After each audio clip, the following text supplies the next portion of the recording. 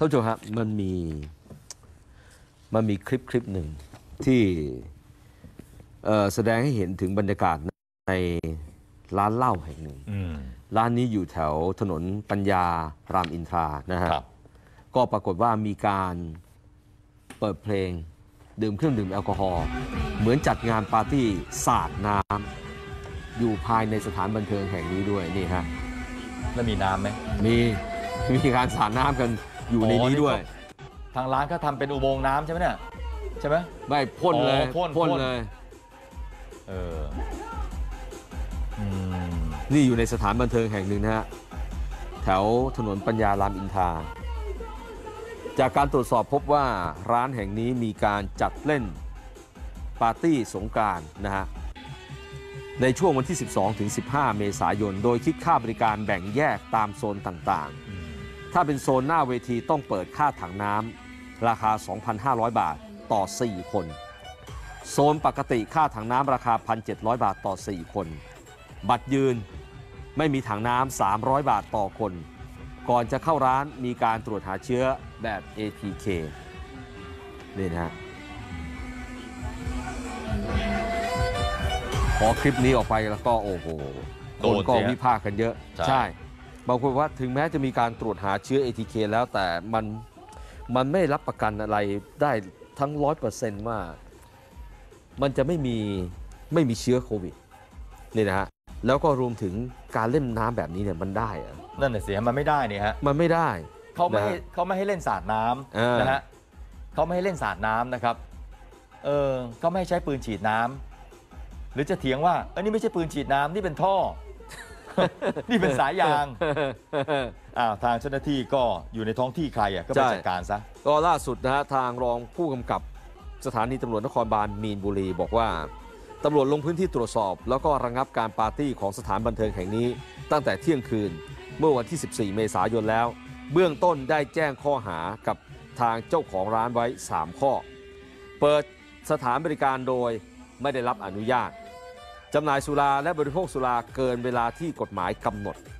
ฝ่าฝืนจัดให้มีการเล่นสงกรานต์ในพื้นที่ที่ไม่ได้รับอนุญาตตามประกาศของกทมนะฮะซึ่งผู้ต้องหาได้ขอประกันตัวชั่วคราว แล้วก็พรุ่งนี้ 16 เมษายน พนักงานสอบสวนจะนำตัวผู้ต้องหาไปฟ้องเอาผิดที่ศาลอาญามีนบุรีนะครับอืมนี่นะฮะล่าสุดทางเจ้าของร้านบอกว่าก็ขอยอมรับผิดทุกข้อกล่าวหา แล้วก็ยกเลิกกำหนด การจัดปาร์ตี้ที่จัดโปรโมชั่น แล้วก็ประกาศออกไปก่อนหน้านี้แล้วนะครับเออนี่ฮะ โดนโอ้จโห นได้เห็นไหมฮะโดนยังไงก็โดน โดนฮะ ภาพมันฟ้องแบบนี้ คิดได้ยังไง ก็เขาพูดกันอยู่ทนโทษว่าไม่ให้ไม่ให้สาดน้ำไม่ให้ฉีดน้ใช่ำนะฮะใช่ ทั่วประเทศฮะบอกเลยว่าทั่วประเทศ มันฉีดน้ำสาดน้ำไม่ได้เห็นไหมฮะเออก็ทางเอ่อ ทางกรมอนามัยก็เตือนนะฮะโดยคุณหมอสุวรรณชัยวัฒนายิ่งเจริญชัยท่านอธิบดีนะครับก็บอกว่าช่วงสงกรานเนี่ยก็ยังต้องเฝ้าระวังโควิดอย่างต่อเนื่อง โดยเฉพาะตลาดแล้วก็ร้านอาหารนะครับผลสำรวจของทางการนะครับในช่วงที่ผ่านมาก็พบว่าตลาดเนี่ยทำตามมาตรการเรื่องกำหนดจุดเข้าออก วัดอุณหภูมินะครับก่อนเข้าร้อยละ 80 ระบายอากาศดีนะฮะร้อยละ 51 มีจุดล้างมือเพียงพอร้อยละ 50 ตามลำดับ นี่ท่านผู้ชมฮะย้ำนะฮะเขาไปสำรวจตรวจสอบดูตลาดและร้านอาหารนะฮะ100 100ร้าน มีที่วัดอุณหภูมิ 80 ร้านนะครับ100ร้าน หรือว่า 100 ตลาด เจอที่ระบายอากาศดี 51 ตลาดนะครับ ตรวจ 100 ตลาด 100 ล้าน มีตลาดที่มีจุดล้างมือ เพียงพอเนี่ย50 ตลาด อีก 50 ตลาดไม่มีนะฮะอืเห็นไหมฮะแม้กระทั่งข้อหนึ่งเนี่ย จุดวัดอุณหภูมิเนี่ยยังไม่ครบเลยอืมอันนี้ก็ไปทำมาสำรวจมานะครับนี่ส่วนร้านอาหารก็ทำตามมาตรการที่ดีฮะทำความสะอาดโต๊ะที่นั่งทันทีก่อนและหลังใช้บริการร้อยละ 73 มีเจลแอลกอฮอล์ประจำโต๊ะร้อยละ 61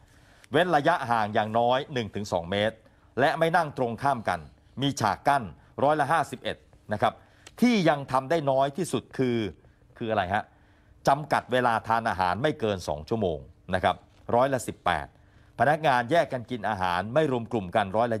20 ยังพบเห็นผู้อื่นสวมหน้ากากไม่ถูกต้องหรือไม่สวมร้อยละ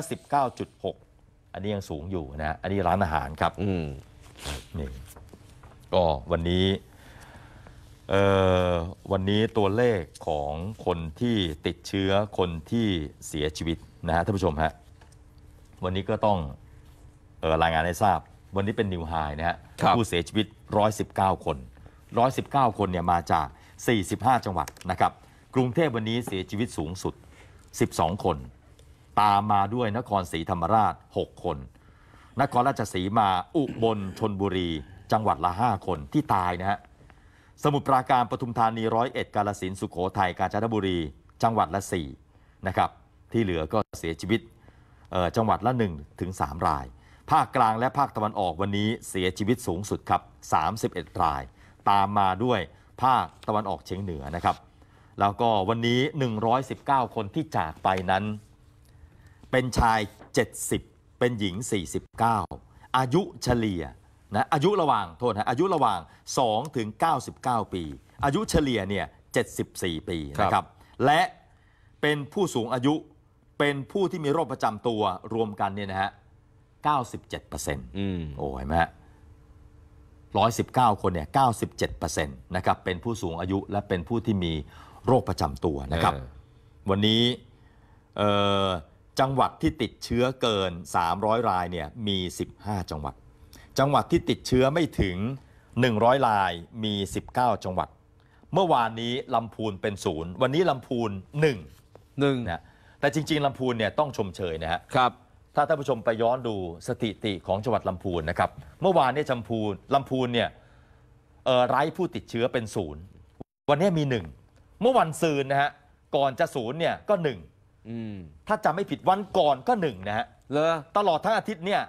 ลำพูนเนี่ยติดเชื้อมากสุดในจังหวัดนะสองคนฮะอ๋อวันจันทร์หรือวันอังคารนี่แหละแล้วนอกนั้นก็ศูนย์ใช่ศูนย์แล้วก็หนึ่งอ๋อมีอยู่แค่เนี้ยแค่นี้วันนี้กลับมาหนึ่งเห็นไหม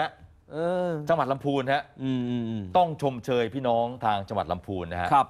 ว่ายอดเยี่ยมมากอ่านะฮะในขณะที่จังหวัดอื่นเนยเป็นร้อยอะใช่สองร้อยสามร้อยอะ ใช่ใช่นะ โอ้โห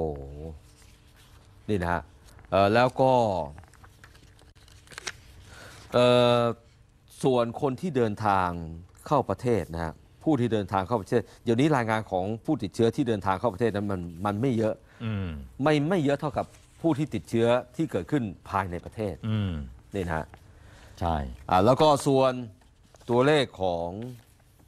อุบัติเหตุในครับช่วงเทศกาลสงกรานต์นะครับ ถ้านับเฉพาะวันที่ 14 เมษายน ซึ่งเป็นวันที่ 4 ของการรณรงค์เนี่ยนะฮะ ก็ปรากฏว่าเกิดอุบัติเหตุ 324 ครั้ง บาดเจ็บไป 332 คน เสียชีวิต 41 คน วันเดียวนะเสียชีวิต 41 คน สาเหตุที่ทำให้เกิดอุบัติเหตุก็ขับรถเร็วมาเป็นอันดับหนึ่งนะฮะรองลงมาก็ดื่มแล้วขับ ยานพาหนะที่เกิดอุบัติเหตุมากที่สุดตอนนี้ก็เป็นรถจักรยานยนต์ 84%กว่าๆรองมาก็เป็นรถปิกอัพ ส่วนใหญ่แล้วอุบัติเหตุจะเกิดบนถนน กรมทางหลวงนะครับมากที่สุดรองลงมาก็จะเป็นถนนภายในอบตภายในหมู่บ้าน ช่วงเวลาเกิดเหตุก็ทุ่มหนึ่งจนถึงสองทุ่มนั้นมากที่สุดนะครับนี่นะฮะแต่ถ้าหากว่าจะดูยอดสะสมตลอดทั้ง 4 วันของการเกิดอุบัติเหตุ 11 ถึง 14 เมษายน เกิดอุบัติเหตุ 1,195 ครั้งอืมมีผู้บาดเจ็บ 1,185 คน เสียชีวิต 157 คน นี่นะฮะ แล้วก็มีหมดนะครับ ไม่ว่าจะเป็นขับรถเร็วเมาแล้วขับ นี่นะฮะ 157 คนนะครับ จังหวัดที่มีอุบัติเหตุสะสมมากที่สุดก็คือเชียงใหม่ 44 ครั้ง บาดเจ็บสะสมมากที่สุดนครศรีธรรมราช 43 คน เสียชีวิตสะสมมากที่สุดก็คือลำปาง 7 คน นี่นะฮะ7คนนะครับนี่ตัวเลขนี่นับแค่ 4 วันเองนะฮะใช่ครับ ยังเหลืออีก 3 วันใช่ครับ แล้วก็เอ่อเราขึ้นต้นเบรกนี้ด้วยบรรยากาศการเข้าวัดโพนะครับ